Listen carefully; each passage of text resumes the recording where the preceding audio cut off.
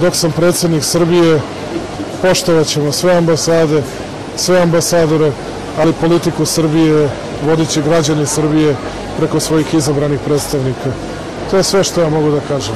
Šta drugi ljudi rade, neka rade šta hoće, neka rade svoj posao, nemam ja problem sa tim. Nekada su pojedini ambasadori dobijali dnevni red vlade, sednice vlade pre nego što pre nego što su to ministri znali. Danas ambasade mogu da čitaju u službenom glasniku kakve su odluke vlade, a dnevni red ne dobijaju.